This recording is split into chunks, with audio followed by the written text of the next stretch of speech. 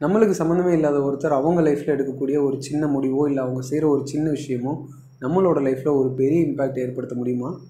கண்டிப்பாக முடியும். அப்படிப்பட்ட விஷயத்தை பற்றி தான் இன்றைக்கி வீடியோவில் பார்க்க போகிறோம் ஸோ இது வரைக்கும் நீங்கள் நம்ம சேனலை சப்ஸ்கிரைப் பண்ணல அப்படின்னா கீழே இருக்கிற சப்ஸ்கிரைப் பட்டனையும் பெல் பட்டனையும் கிளிக் பண்ணிடுங்க இப்போ வீடியோக்குள்ளே போகலாம் ஒடுங்கால் உருகி உள்ள முருகி ஒரு கிளாஸுக்காக தொழில் பண்ண வந்தேன் பரம்பொருளே. நம்ம ஸ்டார்ட் பண்ணுறதுக்கு முன்னாடி ஒரு விஷயம் சொல்லணும்னு நினைக்கிறேன். இந்த காதல் வந்து மனசுக்குள்ள அப்படியே பட்டாம்பூச்சி பறக்கும்னு சொல்லுவாங்க இல்லையா? அந்த பட்டாம்பூச்சியெல்லாம் பிடிச்சி ரெக்கையெல்லாம் பிச்சு போட்டிங்க அப்படின்னா லைஃப் நல்லாயிருக்கும். சரி மேட்ருக்கு வருவோம். இப்போ நீங்கள் பட்டர்ஃப்ளை எஃபெக்ட் பட்டர்ஃப்ளை எஃபெக்ட் அப்படின்ற ஒரு தியரி கேள்விப்பட்டிருக்கீங்களா? தெரிஞ்சாலும் ரைமிங்கோட நல்ல டைமிங்கோட நான் ஒரு தடவை சொல்றேன் கேளுங்க. இந்த தியரி என்ன சொல்லுது அப்படின்னு பார்த்தாச்சுன்னா உலகத்தோட ஏதோ ஒரு மூலையில் நடக்கிற ஒரு சின்ன விஷயம் இன்னொரு நாள் இன்னொரு இடத்துல நடக்க போகிற ஒரு பெரிய சம்பவத்துக்கு தொடக்க புள்ளியாக அமையும் அப்படின்னு சொல்கிறாங்க அதாவது பிரேசிலில் இருக்கிற ஒரு பட்டாம்பூச்சி அதோட ரெக்கையை அடித்தது அப்படின்னா டெக்சாஸில் வந்துட்டு ஒரு ஹரிக்கேன் வருமா கேட்குறதுக்கு பைத்தியக்காரத்தனமாக இருந்தாலும் இது வந்துட்டு சயின்டிஃபிக்காக ப்ரூஃப் பண்ணப்பட்ட ஒரு தியரி அண்ட் வெதர் ப்ரெடிக்ஷன்ஸ்க்கெலாம் இந்த தியரியை தான் மோஸ்ட்லி எல்லாருமே யூஸ் பண்ணுறாங்க ஆஹா. இது சயின்டிஃபிக்காக எப்படி ஒர்க் ஆகுது எப்படி வெதர் ப்ரெடிக்ட் பண்ணுறாங்க அப்படின்ற விஷயத்தை பற்றிலாம் பேசணும்னா மூளை கலங்கி போயிடும் அதனால நம்ம லைஃப்பில் இந்த பட்டர்ஃப்ளை எஃபெக்ட் எப்படியெல்லாம் வேலையை பார்க்குது அப்படின்ற விஷயத்தை பற்றி தான் நான் பேச போகிறேன் வீடியோவை தொடர்ந்து பாருங்கள் இன்ட்ரெஸ்டிங்கான கண்டென்ட் இது ஓகேவா ஸோ இந்த விஷயத்தை எப்படி உங்களுக்கு சிம்பிளாக புரிய வைக்கிறது அப்படின்னு நான் யோசிச்சுக்கிட்டே கழிவறையில் நான் அமர்ந்திருக்கும் போது கணநேரத்தில் என் ஞானத்தில் உதயமானது இந்த ஓவியம்.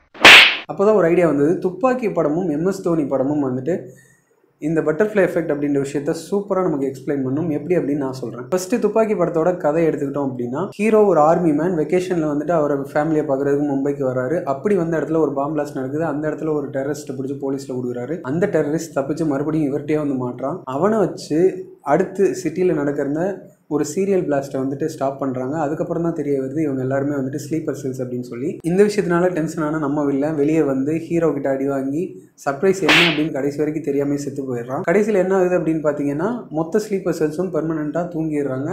ஸோ அடுத்த பல வருஷத்துக்கு மும்பை சிட்டியில் டெரரிசம் அப்படின்ற விஷயமே இல்லாமல் போயிருது. ஸோ இவ்வளோ பெரிய விஷயம் டெரரிசம் அப்படின்றதே பல வருஷத்துக்கு ஸ்டாப் பண்ணி வைக்கிற இவ்வளோ பெரிய விஷயம் எங்கே ஆரம்பிச்சது அப்படின்னு பார்த்தீங்கன்னா நம்ம காஜி கட்லிக்கிட்ட தான். அது எப்படா முடியும்?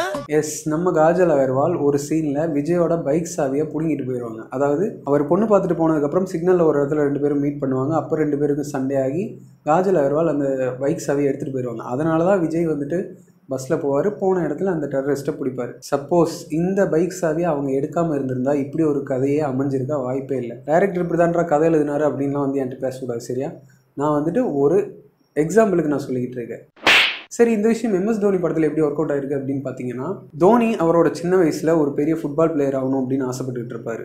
பட் அவரோட லைஃப்பை தலையில புரட்டி போட்ட ஒரு விஷயம் இன்னொரு பையனோட அப்பா எடுத்த ஒரு முடிவு. அந்த ஸ்கூல் கிரிக்கெட் டீமோட விக்கெட் கீப்பர் அந்த சின்ன பையனுக்கு எக்ஸாம் வருது அப்படின்றதுனால அவங்க அம்மா அப்பா அவனை விளையாட விட மாட்டாங்க. அப்போதான் கோச் வேற யாராவது கிடப்பாங்களா அப்படின்னு தேடிக்கிட்டு இருக்கும்போது நம்ம தோனி கிடப்பாரு. இந்த ஒரு சின்ன விஷயம் தான் அவர் இவ்வளோ பெரிய கிரிக்கெட் சூப்பர் ஸ்டார் ஆனதுக்கு ஒரு ஸ்டார்டிங் பாயிண்டாக அமைஞ்சது அப்படின்னே சொல்லலாம். ஸோ இப்படி நமக்கு சம்மந்தமே இல்லாத யாரோ ஒரு ஒருத்தரோட எடுக்கிற ஒரு சின்ன முடிவு இல்லை வந்துட்டு அவங்க செய்கிற ஒரு சின்ன விஷயம் நம்மளோட லைஃப்பை தலைகீழ புரட்டி போகிற ஒரு விஷயமா கூட அமையலாம். சரி இதெல்லாம் படத்தில் தான் இருக்கா அப்படின்னு கேட்டிங்கன்னா ரியல் லைஃப்பில் ஏகப்பட்ட விஷயங்கள் இந்த பட்டர்ஃப்ளை எஃபெக்டை பேஸ் பண்ணதான் இருக்குது ஒரு சின்ன எக்ஸாம்பிள் சொல்லணும் அப்படின்னா நம்ம அண்ணா யூனிவர்சிட்டியில் பேப்பர் கரெக்ஷன் பண்ணுற ஸ்டாஃபை சொல்லலாம்.